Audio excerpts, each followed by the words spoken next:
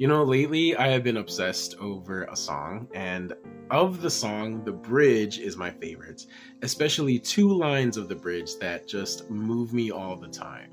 The song is called Homecoming by Bethel Music, and the bridge goes like this And I see bright crimson robes draped over the ashes, a wide open tomb where there should be a casket. The children are singing and dancing and laughing. The Father is welcoming. This is our homecoming. Roses in bloom pushed up from the embers, rivers of tears flow from good times remembered. Families are singing and dancing and laughing. The Father is welcoming. This is our homecoming. Heaven joins in with a glorious sound, and the great cloud of witnesses all gather round. Cause the ones that were lost are finally found.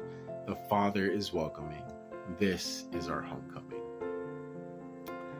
The Father is welcoming. This is our homecoming. I love those lines because I think of our heavenly Father who is just proud to see us and his has his arms open wide ready to receive us. And there's so much to that. You know, there's there's so much to that. And this song just I don't know, when I listen to it, I feel very just encouraged to spend more time with the Lord and just to imagine him as that welcoming father and just being welcomed home that is such a, a great image to see. It says this in chapter 11 of Steps to Christ Praise lifts up the heart nearer to heaven. God is worshiped with song and music in heaven, and when we praise God, we worship Him as do the holy angels. He says, Giving thanks is the sacrifice that honors me. Let us come before our Creator with holy joy.